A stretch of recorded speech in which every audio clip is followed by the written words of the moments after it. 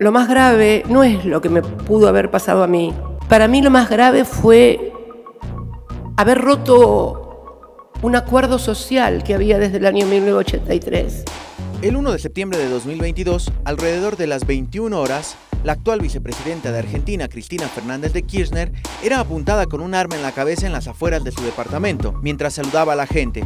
Dicha imagen se extendió rápidamente por el país y en pocos minutos por el mundo. Intento de magnicidio a la expresidenta y actual vicepresidenta argentina, titulaban muchos medios de comunicación. Tras lo sucedido, Fernando Sabac Montiel fue detenido esa misma noche por atentar contra la vida de la autoridad y posteriormente muchos más fueron implicados. En un mensaje a la nación, el presidente argentino Alberto Fernández decretó feriado nacional para ese viernes.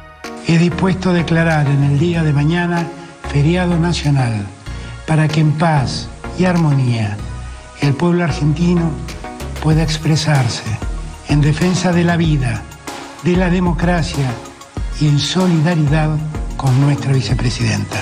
Varios se movilizaron en Argentina en rechazo al atentado que sufrió Cristina. Durante la investigación se presentaron muchas irregularidades por parte de la justicia, como ser permitir que borren la información del principal sospechoso hasta querer descartar los vínculos comprobados con Nicolás Caputo, hermano del alma del expresidente Mauricio Macri. A la fecha, la causa ya fue elevada a juicio contra los tres imputados, Fernando Sabag Montiel, Brenda Uliarte y Gabriel Carizzo.